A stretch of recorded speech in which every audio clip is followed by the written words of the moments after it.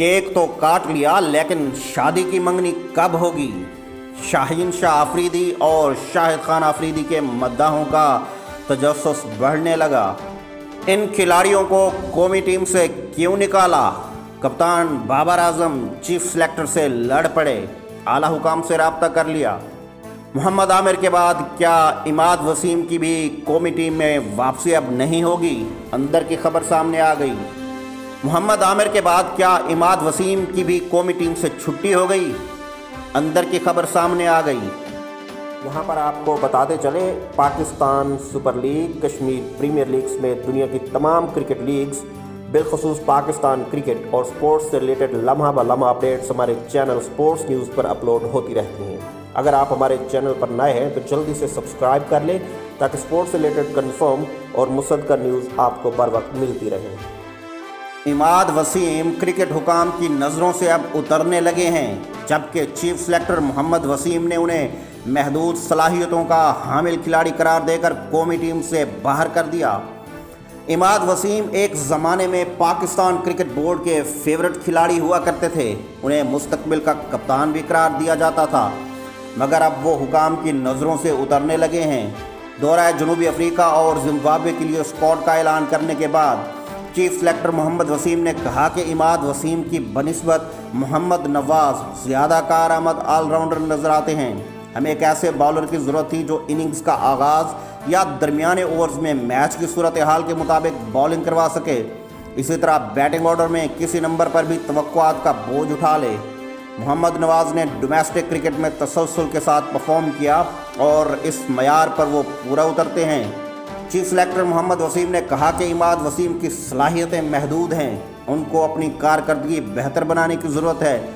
ये नहीं हो सकता कि कोई क्रिकेटर सिर्फ़ मवाफ़ कंडीशंस में ही परफॉर्म करे।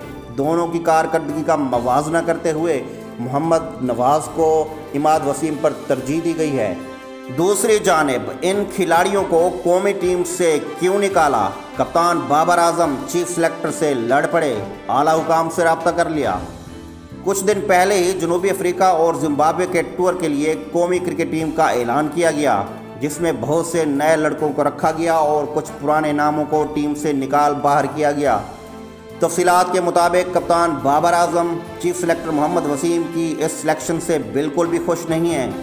बाबर आज़म, यासिर शाह को टेस्ट और हारिस रऊफ़ को वनडे इलेवन में शामिल करने के ख्वाहिशमंद थे, लेकिन चीफ सेलेक्टर मोहम्मद वसीम ने उनकी एक न सुनी। और उन खिलाड़ियों को टीम से बाहर कर दिया, जिन्हें पहले स्क्वाड में शामिल किया गया था, लेकिन अब की बार उन्हें चांस दिए बगैर ही ड्रॉप कर दिया गया। इन खिलाड़ियों में आमिर यामीन और कामरान गुलाम जैसे नाम शामिल हैं। तफसीत के मुताबिक कप्तान बाबर आज़म चीफ सेलेक्टर मोहम्मद वसीम के सिलेक्ट करदा स्कॉड से नाखुश हैं, जिसके बाद उन्होंने पीसीबी के आला हुकाम से रबता कर लिया। इसके अलावा केक तो काट लिया, लेकिन शादी की मंगनी कब होगी? शाहिद खान अफरीदी और शाहीन शाह अफरीदी के मद्दाहों का तजस बढ़ने लगा। मंगनी का ऐलान नहीं हुआ, लेकिन फिर भी शाहीन शाह अफरीदी ने खुशी में केक काट लिया। सबक कप्तान शाहिद खान अफरीदी और test fast bowler Shaheen Shah Afridi का ख़ानदान। इस बात को तो मानते हैं कि शाहीन शाह और शाहिद आफरीदी की बेटी के दरमियान मंगनी जल्द हो सकती है। लेकिन तस्दीक से गुरेज किया जाता रहा है। पिशावर में शाहीन शाह आफरीदी ने अपने बड़े भाई रियाज आफरीदी और अपने क्लब के खिलाड़ियों के साथ मंगनी का केक काटा। केक पर हैप्पी इंगेजमेंट लिखा हुआ था और शाहीन शाह आफरीदी के विकेट लेने के बाद की तस्वीर भी लगाई गई थी। जराए का कहना है कि मंगनी तय पाक गई है, लेकिन दोनों ख़ानदानों की जानब से बाबा ऐलान अभी होना बाकी है। तकरीबा का लेकिन सिलसिला जारी है।